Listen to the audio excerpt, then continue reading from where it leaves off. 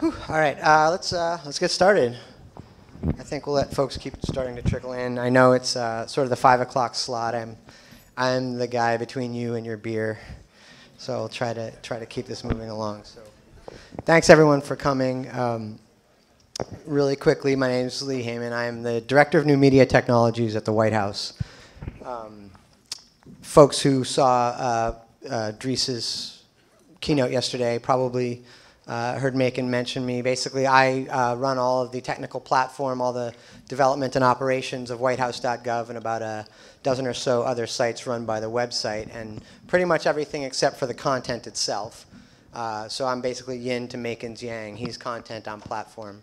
Um, that's kind of how that all uh, rolls down. So um, I always really get excited to come to an event like this to talk about what we're doing, what we're doing with open source software, user engagement, and stuff like that. Because I think when folks think of government websites and government use of, of you know, online technologies, they, they don't typically think of the things that, that, are, that are getting talked about at the conference this week. And instead, you know, my guess is if you think about a government website, you're probably thinking something a little bit like this and a little bit less like that. And um, I'll, I'll, I'll, come back to those, uh, those sites uh, a little bit later. I just kind of want to run you through um, some ideas of, of, of how, we're, uh, how we're approaching things here. There's probably two main themes I'm going to talk about today. And the first one, uh, sort of, again, tying back in with a lot of the stuff that Dries talked about yesterday, is about uh, engagement, about uh, engagement with the users of your site, in particular for us, it's citizens, it's um, you know, uh, fo folks who, who have business before the government, as it were. And so I'm going to talk, kind of run you through today sort of how we've evolved um, our platform, how we came to be using um, Drupal and open source software, and how we've even, how that's enabled us to kind of change the status quo within the government in terms of the use, the engagement, as well as the development methodologies uh, for these tools that we use, and really talk to you today about kind of our marquee platform right now, which is We the People. You saw a bit about this yesterday. And, um, and go through and actually talk about the role that, that we're sincerely hoping that the folks in this room and at this conference uh, are going to play as we take this forward. So uh, our story starts in October of 2009. Um, does anyone know what happened in 2009 in October? Why it's important here today? Anyone? Go ahead. Whitehouse.gov. Whitehouse.gov, what about it? On Drupal, thank you. Prior to that, yeah. So whitehouse.gov was launched uh, on Drupal in October of 2009. This was obviously sort of a, a, pretty exciting moment for us at the White House, but also uh, in the open source community. In fact, I don't know um, if folks were here last year. My, uh, my predecessor, a guy named Tom Cochran, was on the same stage talking about the process of getting getting whitehouse.gov onto Drupal. And you know, he kind of raised the interesting point that this is the only second time in the history of the country that a, uh, a presidential transition also involved building a new website. And so they actually, they, they, they, built, it wasn't the site, the Drupal site that you saw initially, but their first pass, they did it from, you know, conception to, uh, to production in about 70 days. So, um, but you know, you heard Macon say this a bit yesterday, where we talked about why we went to a platform like Drupal. Um, you know, the folks who'd come off the campaign and the, the you know, the, the, the folks who'd sort of been using web technologies prior to coming to the White House sort of had a new understanding and wanted to kind of change the status quo of what was uh, of how the, the White House would use the web. And I think sort of previous administrations had much more of what we would all consider a um, a 1.0 method, you know, mentality, and um, in terms of just true production of content without real sort of, uh, you know, we speak, you listen kind of mindset. So we wanted to change that status quo with respect to engagement, but also, you know, relevant to this group here, it meant a sea change in our ability to develop. And a platform like Drupal sort of changed the model to where we kind of, you know, the things like the modularity and the ability to reuse uh, got us sort of developing and implementing faster and changing the model of of how we develop. So after we got uh, whitehouse.gov online, we started launching more sites. And with Drupal, we were allowed to iterate faster, get stuff up online in rapid succession, keep accelerating. And now we have, you know, over the course of the next two years, we launched at least four more sites. There's actually more that I'm not highlighting here. Each one, because we're on a platform like Drupal, because we have the modularity and the ability to sort of not have to build from scratch each time, we keep accelerating you know, each iteration. And so we sort of, the thing we used to joke about is like before Drupal, we had to, this is, you know, quote, write an RFP for every new web form.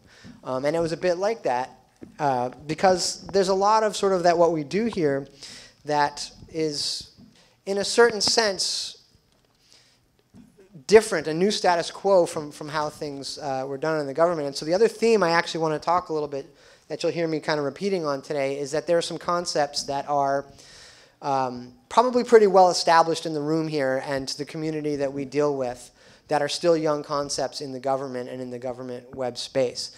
Um, and one of those is just a simple sort of uh, debate between, you know, folks would call waterfall versus uh, agile methodology. And I see folks nodding heads, I see folks understanding. Um, and a lot of the government procurement and sort of as it bleeds into the development methodologies are very much focused on, on waterfall. And I know there's a lot of people in the room here like who are like super bearish on, on waterfall. I imagine most most web developers uh, sort of have a very dim view of it. But I will say, um, having spent time in the government and sort of really conceptualizing this, there is a value to it. It's just not here for us in the room. And, and even in the software space, in the days of like, uh, uh, you know, shrink wrap software, et cetera, stuff, or when you had to like burn things out to, to tape or to, to, to FPGAs, things like that. I mean, let's think for a second, what is sort of the, the, the, the big feature of waterfall? Where does waterfall work best, right? It's in a situation where the cost of post-launch changes are very expensive. And if you think about sort of the majority of the government procurement and the majority of the government projects, this is actually a good thing, right? I mean, I don't know about you guys, um, but I kind of want my F-22 to be feature complete before it takes off, right? So that's a good thing. But we all know in this room why it has a bad rap with us and our colleagues is because it doesn't work well in the web space because we know that's not, you know, not the best way for us to work because we know that the cost of, um, you know, the cost of post-launch changes is relatively low in comparison, and in fact, there's value to this. And so, sorry, you know, that previous slide that I had there, these are slides that I use to evangelize about agile development within the government because it sort of takes along the x-axis sort of you know, time and along the y-axis the amount of value, features, et cetera, that we're building into the application. And so by use of Drupal and by demonstrating over those two years that evolution of how we kept building faster and faster, getting more and more return on the initial investment on, uh, in Drupal and in open source, we were able to show that actually we don't need to like have all of the requirements written in stone and that we can actually go to sort of a more minimum viable approach, get some features out and start you know, iterating through and continuing to add value as we sort of clip along that x-axis. And why that's important today and what I'm going to talk to you about is because now it enabled us to, to do one thing that had really never been done before, um, beyond just using open source software, it opened up our space, both our, uh, our engineering resources and our financial resources to start no longer just simply being users uh, of open source software and Drupal, but actually starting to produce something. Um, and here's what kind of I want to talk about today, which is, um, uh, as, as folks know probably by this point, uh, September uh, of 2011, the president, uh, speaking to a group at the United Nations General Council, announced our new big new application. Um, and it spoke about two things. Obviously, it's an online petitions platform, and that means that people can petition the government. And, but he also said, we want other people to use this. He announced to a group at the United Nations General Assembly that we would share the code, that we would open source the technology. And this was a huge day for us, um, and it was essentially marked the change from simply being consumers to being producers. So September, shortly after the president makes that speech, we launch uh, We the People.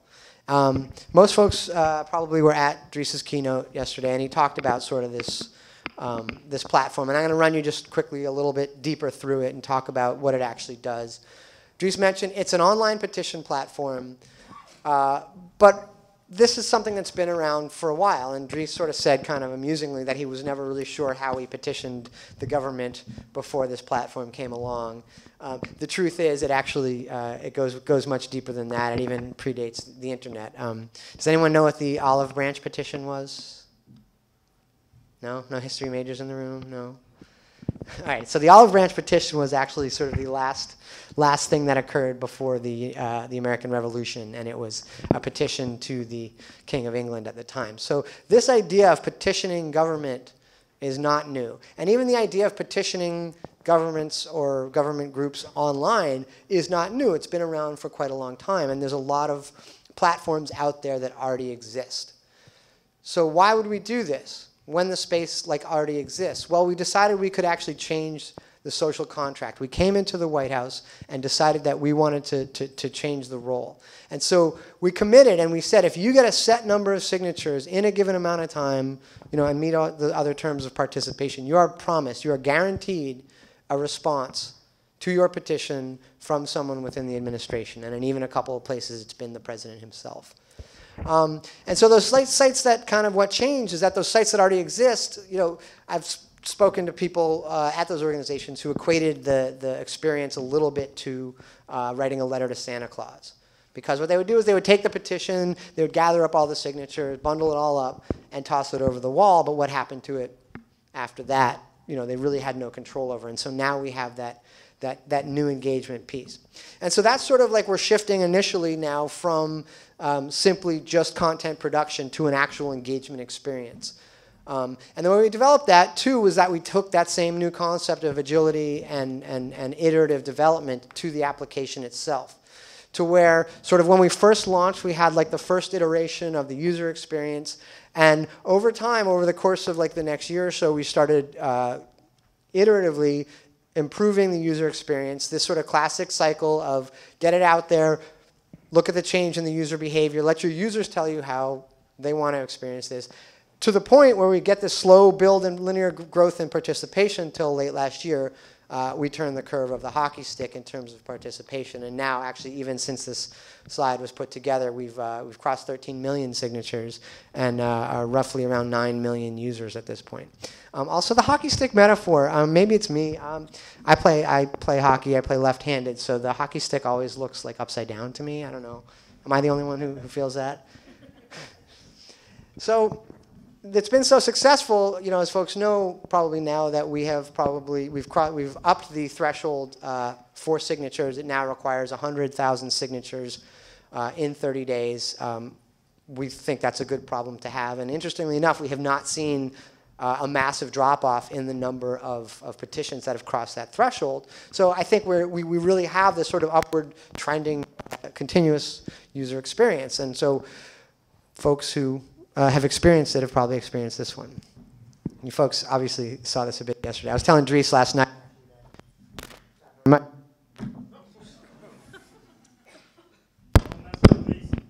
Yeah, seriously, right? There we go. All right. I fidget. I apologize. So yeah, no, I was telling Dries last night that uh, you know he stole my material, but yeah, I, I have to go with this. Still doing that, or is that just me? It is? Okay, it's just me. All right. Van Morrison can't play a concert without playing Moondance. Like, people will throw stuff at him. I can't talk about We the People without putting up this petition. But there's actually a lesson here. Um, there are a lot of petitions that are sort of not necessarily meant. You know, we, we get some amusing petitions like this. How many folks actually have seen this? All right, so for like the three of you who haven't raised your hand, uh, I strongly recommend you go to your uh, preferred uh, search engine, do a search for White House Death Star petition. It will be the most uh, interesting eight minutes of your day, I promise you. Um, but actually, folks who have seen this uh, before, uh, please, please raise your hands again. Let's get them up again.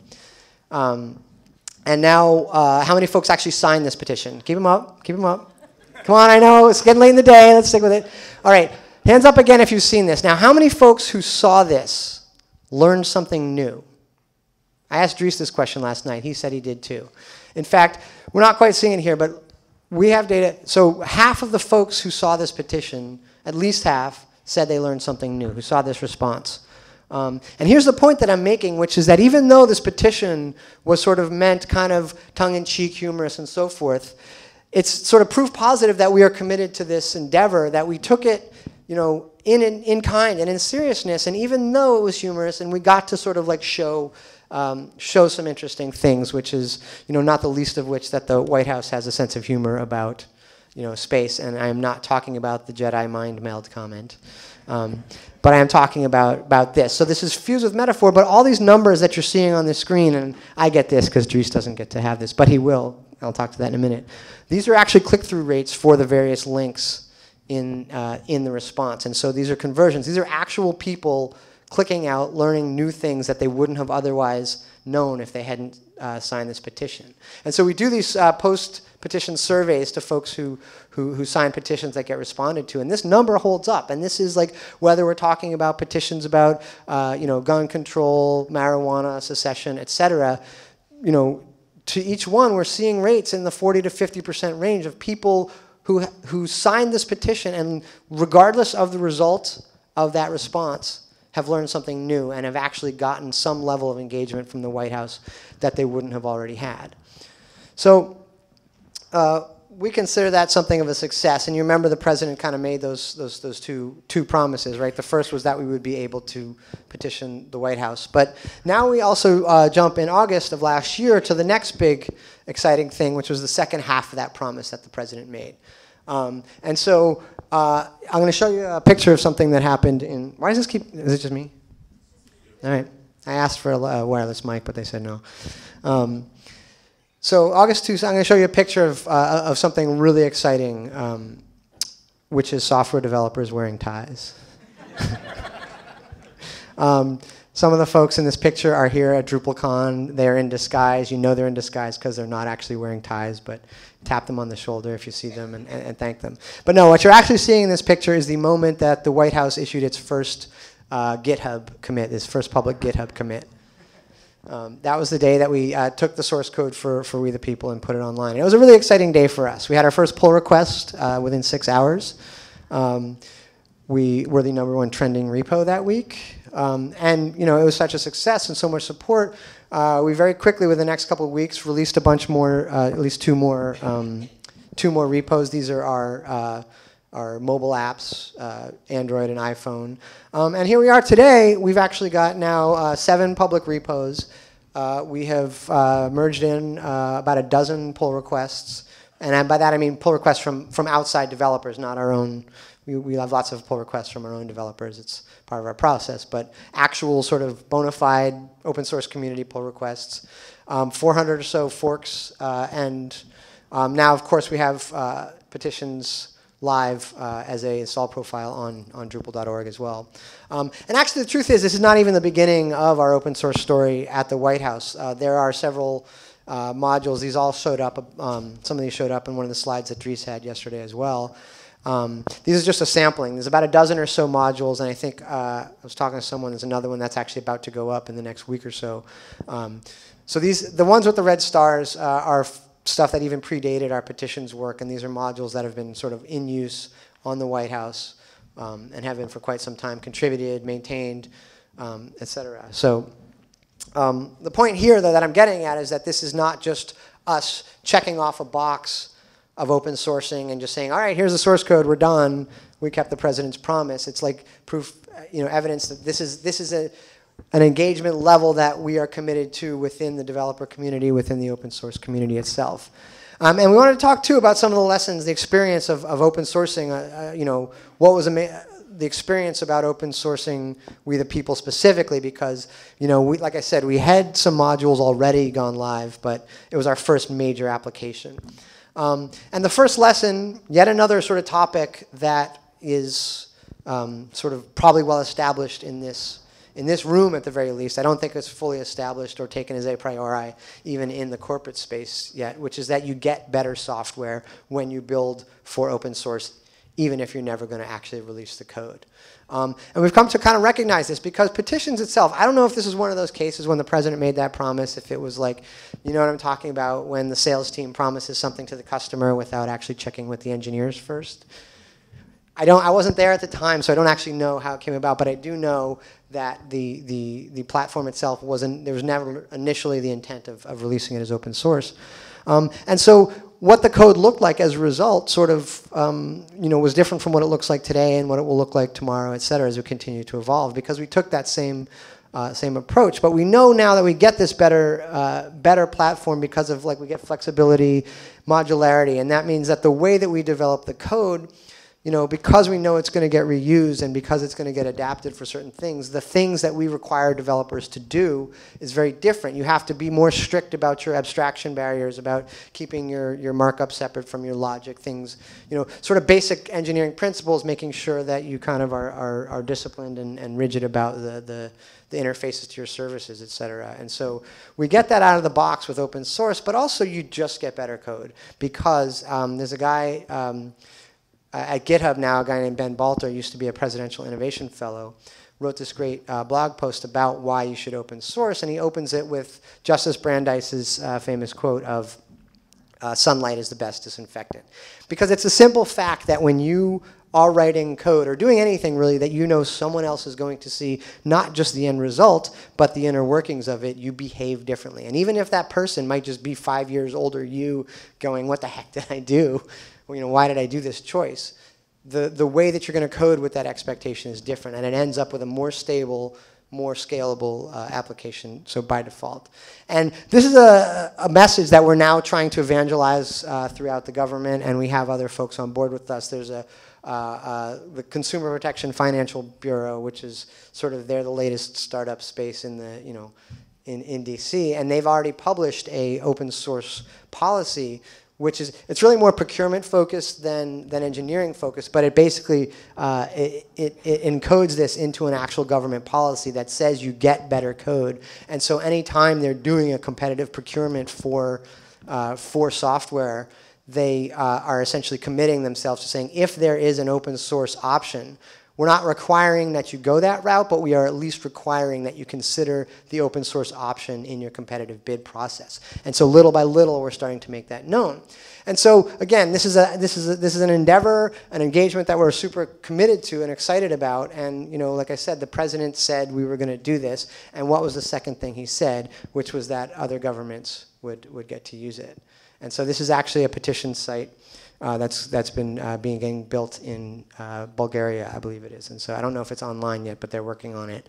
Um, so so we consider this something of a promise kept at this point. We have checked off all the boxes that the president said we were going to check off. You know, we can go out, drink our beer, go home, and done. And you know, I know you guys want to get to your beer, but the truth is. that's really just the beginning. You know, we all know this is really just the beginning. We kept the promise and we went to the next step. Where did we take it next? So I don't know if folks know this, but uh, just over a week ago, the president issued an executive order. This was all very exciting in our space here. That basically says that all new um, government applications, platforms, et cetera, that, that use big data stores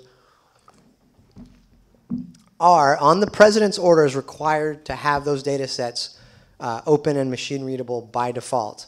This the statement goes on longer. It obviously addresses a lot of issues like privacy and stuff like that. But where legal, where you know, where feasible, we are required to do this.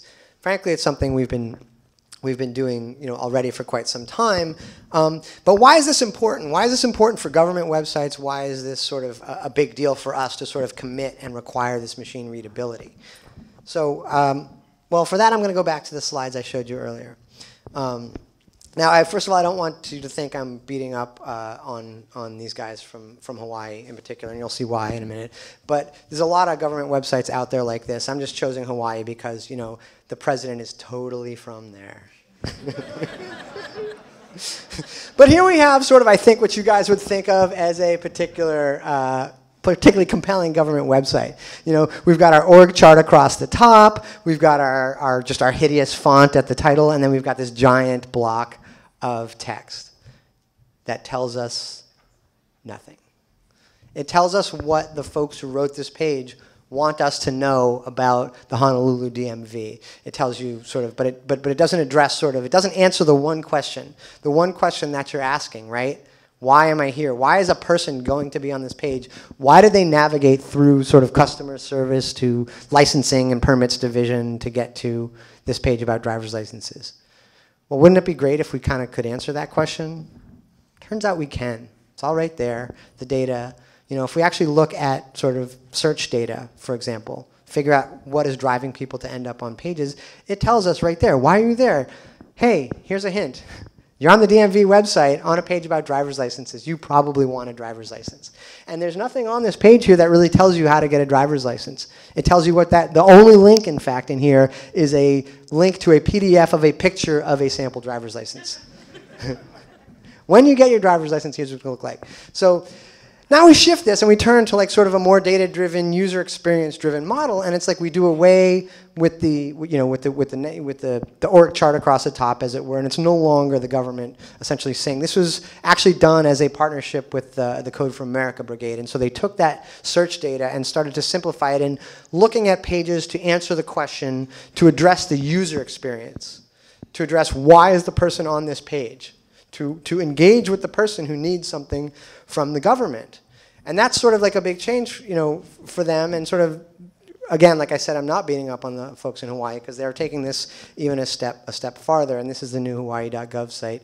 Um, to, to take them off the hook here. This is, I know it's got a very kind of Windows Metro look and feel to it, but what it does is it goes right to our sort of like user user-driven experience, no longer government-driven, but citizen-driven. You live here, you have services that you need, we're going to get you right to them, and we're going to do it in a way that's easy for you to use, responsive design, it's going to work on your phone, et cetera, et cetera. So, but you know, I don't know if folks saw um, Jeff Eaton's talk yesterday, uh, but he was also talking about kind of the way to do this is to get sort of using APIs to uh, abstract your experience, the user experience from the content itself.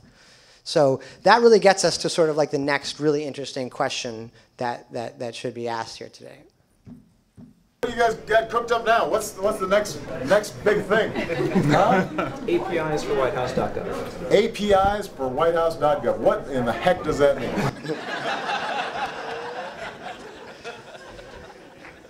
glad you guys could share that moment. The president wants to know, you know, so I'm glad you asked, Mr. President. That is an excellent question. I'm glad you, you asked that question. So, folks who don't know, you probably, uh, this is a really exciting day for us in the government as well. Um, probably don't know this, but today is the one year birthday of the digital government strategy. Now, the digital government strategy was launched by uh, the federal CIO and CTO uh, a year ago today. And what it is, is it is a set of, uh, a, a, set of directives for uh, government agencies how they should approach uh, use of uh, online technologies, the web, open data. It was essentially the precursor to the executive order that I, I, showed you earlier. But I wanted to call it out today because the first two directives, the very first two directives uh, in the government strategy, digital government strategy, speak of web APIs. Not once, twice. Twice. Because web APIs, we realize, are sort of the key to getting that space where we can start separating the content from the user experience and start looking at the user uh, user activity and the user needs to start tailoring that experience to them. You know, and so with that in mind, uh, on May 1st of this year, uh, we launched uh, an API for WhiteHouse.gov. This is, uh, excuse me, for petitions.whitehouse.gov, and this is our first, um, you know, opening up the data, uh, high-value data sets within the petitions platform itself to let people start uh, start sort of going through that data to actually like start changing engagement models, engagement experiences, where we actually take the government sort of a step back and release that experience, let it go out into the community itself and let them dictate it. So this is a, you know an API right now. What you get with it is you can get data on uh, signatures on a given petition, uh, you know data on all the different petitions themselves. There's a bulk down, download functionality. Uh, we are working on getting uh, response data out as well. Uh, like I showed you earlier, so Dries can now actually have a slide that shows the level of engagement in the Death Star petition. But before we started building this, this API, it took us quite a while because we realized this was like our first step into the space of APIs with uh, a major application at the White House. And we wanted to talk about, well, as with sort of the open source approach, we also want to look at what we do is going to set a standard for other government agencies. And we wanted to like lay it out, and we knew that the API that we had to build um, had to be really well thought out and really sort of approached properly before we could get started to it. So we came to this notion of a facade pattern, uh, which is uh, written about by a guy named Brian Mulloy, uh, who talks about it. It's basically sort of the three steps to building uh, a, a, usable, a really effective API is first you essentially design your ideal API in terms of like specking out the space that you want, sort of you imagine like what you want your URLs to be and your query strings, et cetera.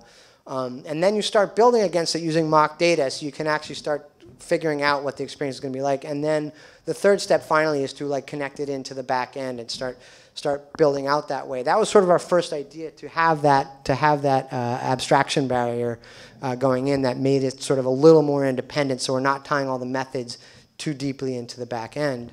Um, and we also talked about uh, something else that Brian Mulloy spoke of, which is called pragmatic REST.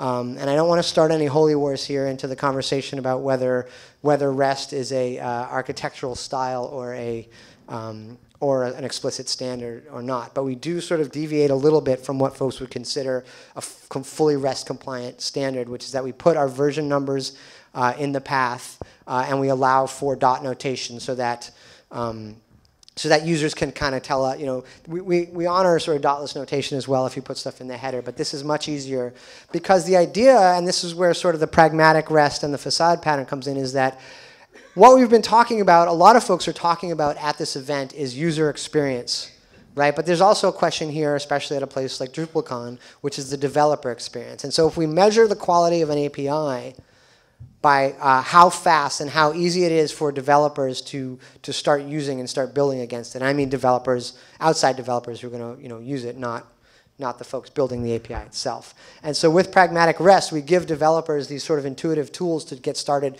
where you can even sort of like test your methods, uh, you know, just as something as simple as a browser.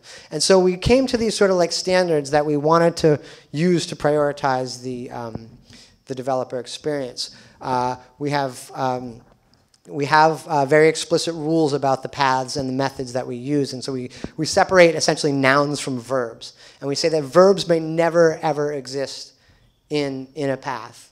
That the only thing in the paths are nouns and like filters, and those filters all go in query strings, right? And all the verbs happen in the HTTP, HTTP methods. And um, that's sort of the first thing that we said, and kind of I'll just give you kind of a counterexample, which is like this is sort of what not to do with our API, which is to start here. You've got like you've got singular nouns, you've got you know a filter in that third third uh, third string there, and then of course we have we have a verb down there in a path. Um, and so why is this bad? Because you end up with sort of this vegetable soup, uh, vegetable soup alphabet. I'm going with vegetable. Um, you end up with a vegetable soup of, of, of URLs like this that um, not only are hard to maintain, but it diminishes the developer experience. You're essentially prioritizing your own developers because, in essence, you're sort of making it a little bit easier for the folks building the API to do that but the folks paying the price are the folks are your users, are your, your outside folks who are going to be building against this API. Because first of all, there's nothing intuitive here. And you remember we said the, the measure of an API is how easy it is for outside developers to use it. You know, I, every single method have to go and sort of figure it out, find the documentation, et cetera. Whereas when you have sort of a very explicit straightforward standard, I can start making inferences about other methods from, from the methods I already know. So it just, this becomes confusing, unmaintainable, and frankly unscalable because you sort of also, from a QA perspective, have a hard time knowing when certain API changes uh, will affect other, other methods. So um, so we took these standards and we, uh, we put them on GitHub. Uh, we are evangelizing them as well within governments, but it's definitely not something that's exclusive to the government. So we welcome you. Please fork it if you go through it, issues. Um, it's on our GitHub page. Please send us your issues, your pull requests, etc.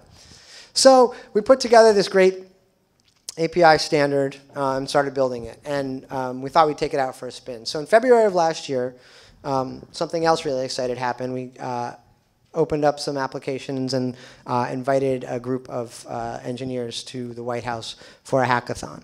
Now, let me just stop for a second and ask you to imagine what the experience is like of trying to organize an event at the White House called a hackathon. Once we got over that hurdle, we invited a bunch of folks down. And the way it went down was we like I said, uh, invited folks. Uh, we gave them early access uh, to a private data. They had about nine days of access to the documentation, the methods itself, gave them out keys, and essentially got folks together in the room to see what could start being built uh, with this API. And so I'm just going to kind of run you a little bit through um, some of the, the stuff that we found, things that we, uh, things, things that were built. Um, this is a uh, just a simple kind of thermometer widget that folks built that uh, allows you to sort of track progress. So if I am, if I've created a petition and I want to promote it on my website, on my, uh, you know, on my Facebook, et cetera, I can throw a widget like this up and like show my friends and users, et cetera, how that petition is doing. Obviously, something quite compelling for uh, for folks who who want to drive this sort of engagement. Um, we also sort of have some demographic breakdown stuff. So this is stuff, folks. We have. I will tell you. I'm just showing you a small sample. We actually, uh, I'm going to give you a URL uh, at the end here that you can hit. There's a whole gallery of the different projects that happened at the, at the hackathon. But again, folks who deal with engagement uh, operations, folks who actually have campaigns and things like that, demographics matter. Um, you know, because you want to know sort of like what your constituency wants. We can actually use things like this to sort of essentially take the temperature of the folks in the various, various spaces. So this is, you know, we, got a lot of ideas like this for like mapping, you know, like, like mapping regional behavior to kind of see sort of what, you know, what issues were important in various spaces. Um, word cloud of issues it's set. Again, this is sort of folks taking on uh, the idea of sort of pushing out to their own organizations, their own constituencies, sort of how to find new ways to sort of uh, garner participation in the platform, get folks to sign petitions, get movement, get action, call folks to actually engage and, and, and iterate with us. So that was the hackathon, and you know, like I said, we launched it live, public, May 1st this year. You can go check it out. You can start writing, uh, you know, writing your apps against it, your ideas. We are actually having another hackathon um, next week, in fact, for the National Day of Civic Hacking. Um, they're getting a little more comfortable with the term around the White House now. Um, uh, unfortunately, the application period is closed for that, but we promise you there will be many, many more, um, including sort of the part that is really the best to come. And Macon mentioned this yesterday uh, during Dries' keynote, but the best part is really yet to come. We have our writing, excuse me, our read methods in our API. We have the ability to start querying the data, downloading the data, et cetera. Um, but the game changer, we think, is that we are launching, going to be launching uh, write methods for that API. Um, we're starting work on the beta for it this summer. Um, we will do the, a very similar thing to what we did last time, open up applications, let folks kind of send us in their ideas, what they think they'd want to do with it, um, and then invite folks to come down to the White House to start, to start sort of playing, get, getting hands-on with this, with this API. Um, but why it's so exciting? What is like the big deal here? This is the role. This is where you guys come in. This is where the folks at DrupalCon come into the game here. Because with this, with the write methods added to the API, those folks that I talked about. You remember the letter to Santa Claus metaphor that I gave a little while ago. This is where that changes. Okay, we have said, okay, this you have a platform. You already have your own petitions platform. You have a constituency that you want to talk to, a user base established. Well, we're going to extend the social contract that we've already made out to you. That if you, with your platform and your user base, again, following a certain set of guidelines and rules, uh, connect your, link in your platform uh, to our APIs, now you get to provide for your users the experience that you've already established that they want and that they're used to, and yet their signatures will still come into our database. So when this goes live, uh, folks will be able to build applications that will, uh, you know, create signatures against our petitions. Um, again, pass through, uh, you know, whatever you want to do, whether it's an existing platform today or you start wanting to build a new one. This is taking the user experience essentially out out of our hands. You know, we are no longer saying, okay, we're the government, we are going to decide what your user experience is. We are going to say and acknowledge forthright that, you know, that folks who are passionate about, you know, social issues, economic issues, ecological issues, um, you know, may desire a different user experience from folks who, you know, are passionate about, you know, animal rights issues or gun control issues, et cetera. And so, you know, that space is already established folks have constituencies and user experiences. Um, and then what comes next? Because this isn't simply just about necessarily existing online uh, petitions platforms, you know, but what's next? You know, we have ideas you can, you know, sign petitions maybe straight out of out of Facebook or whatever the next social networking site's going to be, LinkedIn, what have you.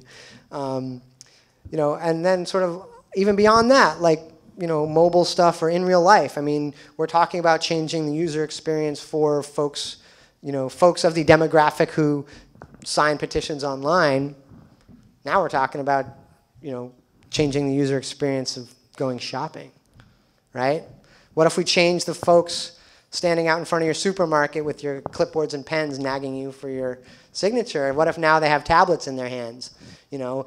And when you're signing this, they're nagging you for your email address instead of your signature. But all the same, now those signatures are going straight into uh, straight into a platform where there is a commitment, there's a social contract that that signature, that email, is not going just in blindly over the fence, a letter to Santa Claus. It's actually going to folks who have committed to engaging with the folks who signed that petition.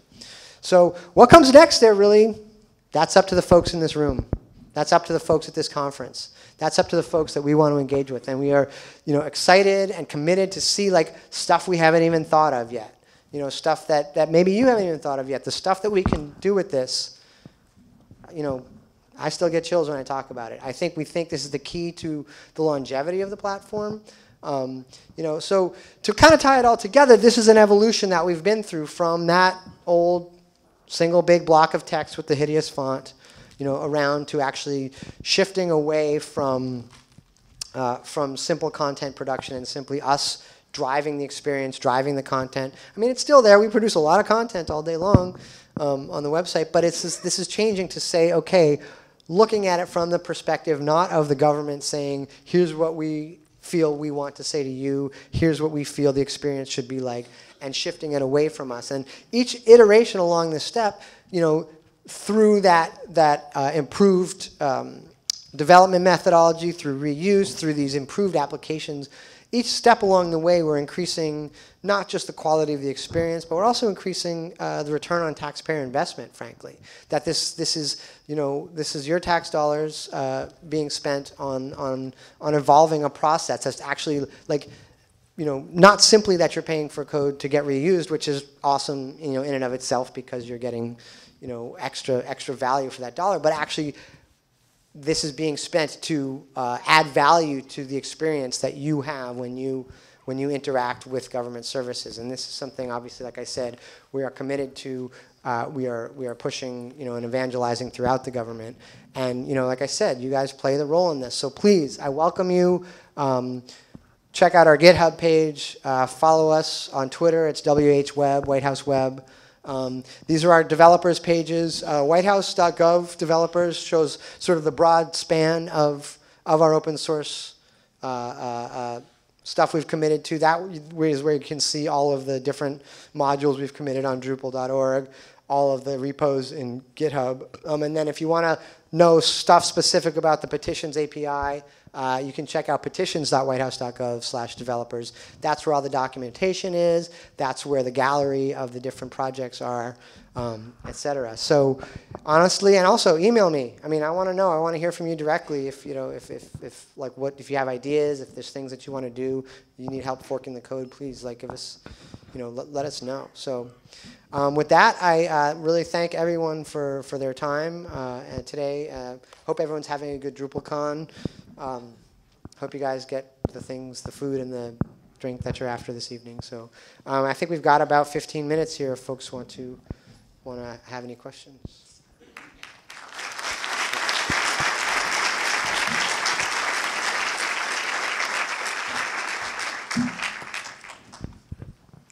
Hello.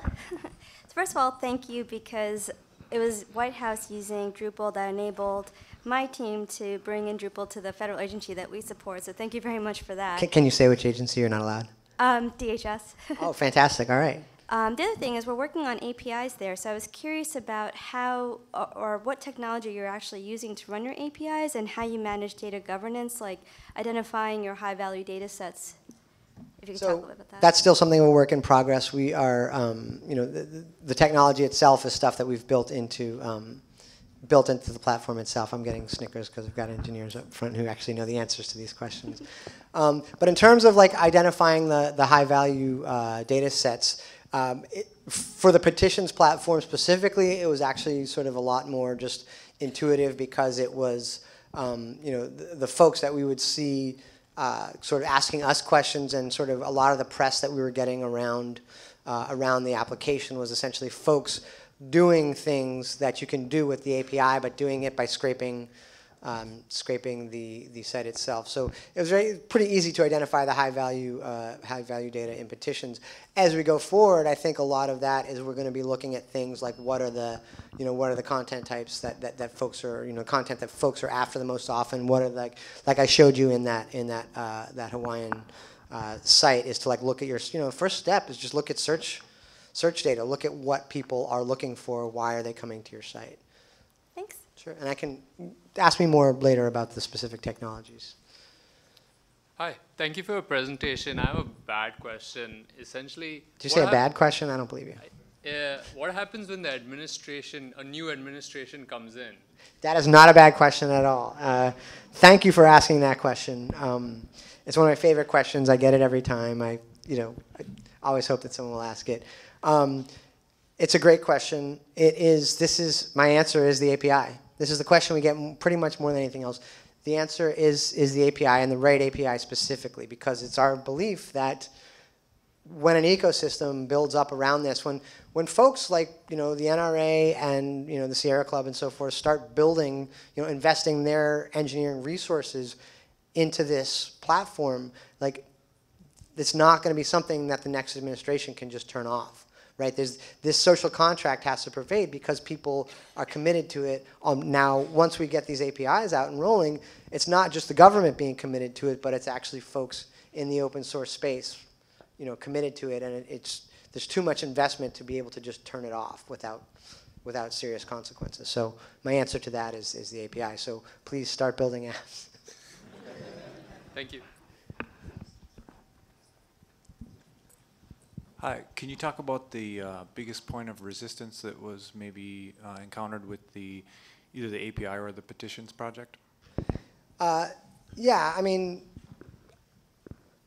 I can say there was very little resistance to uh, to the API. It's the the only resistance really to the API was that we had a lot of, um, you know, there was still a lot of functionality in the site that we wanted to to to fix and and and revise and improve. So it was the only real resistance in the API was sort of the kind of ever constant sort of debate of like which feature do we prioritize and there were a lot of features that we wanted but we kind of committed to the api itself part of the reason like i said is that there wasn't much resistance to, to, to building an api is because you know we have directives from you know from the administration to start building apis and that's a very compelling a compelling tool to have in your back pocket. Um, in terms of resistance to the uh, to the petitions platform itself it, it's the responses honestly. It's like folks were really worried about what sort of things were going to get get petitions and get you know what what were, what were essentially what were they agreeing to and they foresaw a lot of a lot of situations. And frankly some of those are situations that that have transpired but folks um, you know are committed to that engagement and um, you know and are taking it sort of with the with the import as expected. And so you know I think it's okay to folks were worried about being called out on the mat on, on some specific issues. And you know frankly I think that's our obligation to, to call call folks out on the mat. And so it's been, and I think the folks who've been in the administration responding to these petitions as well have actually found it a really positive experience. And we've had at least a few, you know, a few instances where these petitions have, you know, ha- have changed changed minds here and there. And you know, there's been at least a few small policy changes that have that have come from them. Anyone else? Yeah. Hi. Can do you mind? You know, here's a mic here. I, I know they're recording. They want to get the camera, the questions on. There's one. Yeah. I think that one. Thanks, Greg. Nope, no, hey, no problem. Uh, you mentioned uh, looking at the There it goes. Same as me. All right, it's not just me. Ask the question, I'll repeat it. I'm trying. you mentioned looking at search data uh, as a way to get started. Um, tell me uh, more about how the big ideas come about. Um, just like what else do you look at besides search data, for instance? You know, I wish I, I, I wish I could give you a better answer. It's not, not really the, the, the part of the project that I, that I'm involved with. In fact, there's, yeah. Well, I was gonna say Code for America has stuff online, and they went and they did a whole bunch of civic stuff in cities and stuff, so, um, but yeah, it was just basically people who were interested in answering questions. and stuff. Yeah, there's also a, a great um, site uh, at uh, data.uk, British, and they actually talk about kind of design principles and sort of they look at some ways to help because it's really also can be very uh, uh, you know site centric specific in terms of how you know what your methods for identifying high value data, but they, they talk about sort of some concepts of how to how to look at those high value data sets to, to identify. Apologize, I can't give you a better answer for that. Have, have you guys considered um, publishing the revision logs of like whitehouse.gov? Because I think for historical research years down the road, that would be really nice to see the, the progress of the narrative that like the White House would um, pro- progress, like show on its website. Um, and right now, it's up to libraries and digital archives to basically scrape sites and, and find out what that is, but they only get small snapshots of that. And I would think that that'd be a really good model too for uh, like legislation to do, like even like post legislation through GitHub, so that you could see revision models and stuff like that of the actual documents themselves, who touched them, whatnot. Thank you. That's a great question. Um, I'll, uh, I'll sort of try to take it in order. Um, when just really quickly, when you said uh, re- revision logs, you actually mean the revision of the content, right? Okay. Unfortunately, I can't sort of say uh, too much about that. Like I said, um, I'm the platform guy. Uh, the decisions about sort of how that happened um, is the, the guy with the you know you saw on stage or on the screen yesterday. Um, but no, I do agree with you. But the question about sort of like things like like putting putting um, you know uh, putting legislation on GitHub, that is a um, pretty much constant. Like I, I can't think of a of a meetup I've I've been to, especially like you know in the DC space of like that is a wouldn't it be awesome if idea that we've had, um, and it's out there actually. I don't. It's not at the federal level, but I think that they. Um, uh, the city of the District of Columbia actually just put its code and code, sorry, in the uh, in the legal sense, not the software sense. So the actual like laws of the city of the District of Columbia, I think, are now on GitHub, or at least they're in the public space. And so as they evolve, I think that's going to happen. So I, we all want to see that happen, and I think sort of if I had to sort of, I, I really don't sort of like know like the future of that content directly. I think those are great ideas. There are also sort of, um, there are laws that sort of require certain things and prevent other things. Um, the Presidential Records Act, I can tell you, is not not an easy burden to shoulder, and that's sort of every every piece of communication that I have is governed by that. Um, so it's not an easy question, but it is. I think there are a lot of. What I will say is that there are a lot of folks, sort of in this technical space, a lot of really really smart folks uh, in in DC working in the government, sort of who do have these ideas and are committed to to to to iteratively getting to places like that. Anyone else? Thanks, everyone. I really appreciate it. Um, got you guys out of here five minutes early, and uh, Hope you guys enjoy the rest of the week.